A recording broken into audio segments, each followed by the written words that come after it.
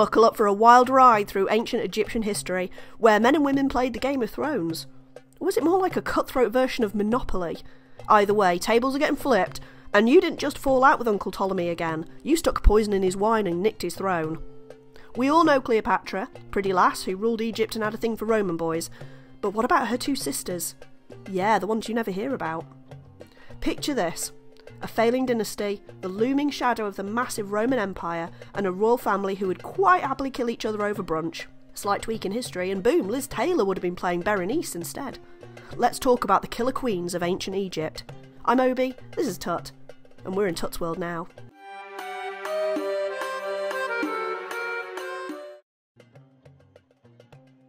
So, you might know Cleopatra as the last female pharaoh, but her family tree was more like a stick. Straighter than the pole your cousin Becky dances on. Very little genetic deviation there. Her mum was either her dad's sister or his cousin. Cleo and her five siblings were like the Kardashians of ancient Egypt. All looked similar, nobody was sure who was going to stab who in the back next. You really have it in for America's first family, don't you? Yes, I'm just waiting for the day they all admit they're androids or something. I will not be surprised. So the Ptolemy family records aren't exactly helpful, and the boffins are still a bit fuzzy about who was whose mum, but all five kids had the same dad, Ptolemy XII. There was Berenice IV, Cleo VII, the famous one, then Arsinoe IV, plus Ptolemy 13 and Ptolemy 14. Those last three they think were to a different mum, but like I said, not clear. So, despite being the middle child, Cleo was the apple of Ptolemy XII's eye, and she was little daddy's girl. The problem? Daddy's kingdom was falling apart. Egypt was not doing great during this period. Heavy taxation, mismanagement, unhappy population, and under constant threat of being next on Rome's I licked it, it's mine list. So a bit like America then. I guess, apart from the Roman bit. Mm, maybe the Isle of Man is eyeing it up though, you never know. Ptolemy XII had to bribe Pompey and Caesar to even be recognised as ruler, making him about as popular with the Egyptian people as an IRS agent at a party. His courtiers eventually had enough, kicked him off the throne, and put his wife slash cousin slash sister Cleo V and his elder daughter, Berenice IV, in charge. So Ptolemy did what any good ruler would do in that situation. He got the hell out of Dodge and buggered off back to Rome to ask them for an army to get his throne back, taking young Cleo with him. After a year or so, Berenice decides her mother is cramping her style a bit, and makes her bedtime Ovaltine a little more spicy. Why is it spicy? This made her officially the first female Ptolemaic pharaoh. So Berenice takes the reins of Egypt. She's just 20, she's ruling like a boss, fighting corruption, securing borders, implementing tax policies that would make modern governments weep. And there's you sitting there with your Stanley Cup. Hmm. She even brought the Egyptian language Coptic back into use at court instead of the official Greek. But didn't Cleopatra do all that? Nay, nay, it was Berenice that started all those reforms off, and we'll get to that particular bit of backstabbery in a bit. Now, Berenice faced the dilemma of being single in a world obsessed with monarchy matchmaking. No Tinder, no Bumble, no getting out of it. Get a boyfriend and have babies, please and thank you. But her standards were high, like, I'm a pharaoh, find me somebody on my level high. I know the feeling. Mate, you would date anyone if they fed you enough chili dogs. I've seen your Tinder match list. Eventually, she settles for a distant relative, Seleucus VII, who was more trouble than a donkey in a pottery shop. He was about a million in line for his own throne and thought bagging an Egyptian queen made him something. Was an absolute asshat and the people hated him. Think Hans in Frozen. Man, I hated that guy. I know, right? What douche. I'd have ice cubed his ass too. So Berenice did what any girl would do in that situation and had him strangled. Then she married a guy called Archelaus. He was a priest. He claimed to be the son of a king distantly related to Berenice, which wasn't the massive turn off you would think it would be today. She really didn't have much luck with men, did she? No, not really. She made him a general, gave him some armies to keep him busy, and got on with the business of running a kingdom. Trouble is, Daddy's back, and he wants his throne. He brought an army from Rome with him, and battle ensued. Archelaus got his ass handed to him, literally, and Ptolemy XII was back in business, baby, with Cleo in tow. So Berenice got hauled away by the Roman soldiers, was executed by her dad and sister, head off, and Ptolemy XII undid everything Berenice did. He went straight back to wrecking the country with high taxes and generally making life as miserable as possible for everyone. So when Cleo gets the throne, when good old dad dies, along with her younger brother slash husband Ptolemy XIII, she starts putting back all the good stuff Berenice did, like lowering taxes. You can't go wrong by lowering taxes. Cleo then gets all the credit for these reforms, when in fact it was more a case of her undoing her dad's nonsense and redoing all the stuff her older sister had already done. Sneaky cow.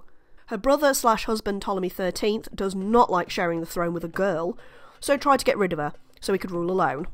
Fails, he gets some help from the Romans, civil war, and it's just a mess at this point. It's just a mess. She does what Daddy taught her and ran away. Run away! Run away! That's when Cleo gets in with Caesar, and you know the rest of that story. Before we get into the story of Cleo's second homicidal sister, I wanted to drop in a quick mention about today's sponsor. If you've ever wanted to start your own YouTube channel but hate the idea of people looking at you, then this course is for you. Starting off with how to identify subjects that people are already looking for, producing a video using funky AI tools to help, and how to put it all together even if you're not techie. It then includes a bit that I really love, and that's how to use the data that YouTube gives you to tweak and improve your channel based on facts and data, not hopes and prayers. There's a Facebook group with a dedicated coach just for support, and I offer anyone who purchases the course through my link extra support, checklists, and walkthroughs. Plus, folks who use my link get this bad boy for half price. The link's down in the description, and purchasing through us helps us keep the lights on around here. And those protein shakes don't buy themselves, you know. Anyway, back to the story of Cleo's stabby sisters. So, what about the other sister, Arsinoe the Fourth?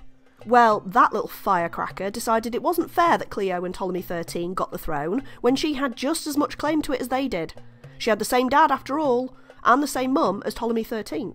When Caesar got involved in the dispute, he decided that Arsinoe and her brother Ptolemy XIV would get to rule Cyprus, Cleo would get the Egyptian throne back and rule alongside Ptolemy XIII again, and everyone would like it and shut up, or they'd have to wear the get along shirt.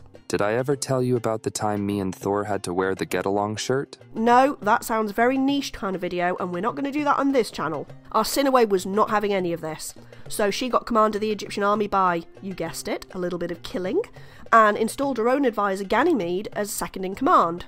Stabatha then takes her new army and lays siege to Alexandria while Caesar's in there, just to show him how pissed she is.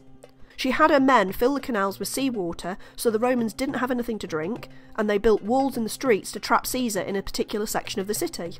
Smart lady. He then starts attacking the lighthouse of Alexandria, but Arsinoe's army spanked him.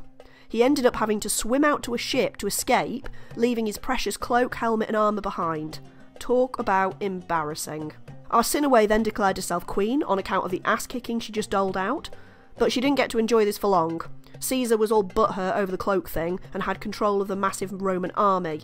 Not a good combination. The old boys club got into motion, and her own army generals went behind her back to make a deal with Caesar. Something about being ordered about by a woman bruised their fragile male egos, so they wanted in with the Romans instead. At least they peed standing up. Arsinoe ended up getting spanked right back by Ptolemy and Caesar's forces in 46 BC, and she was hauled off to Rome to be paraded and humiliated in public. The parade included a burning effigy of the lighthouse. Caesar didn't get the irony there, obviously. The Roman people felt sorry for us in a way and booed Caesar. He couldn't exactly execute her then. Instead, he and Cleo had her taken to the Temple of Artemis to live out her days as a priestess. Henry VIII would later use the same trick on Catherine of Aragon. So you shove unwanted women in religious orders to keep them out of the way?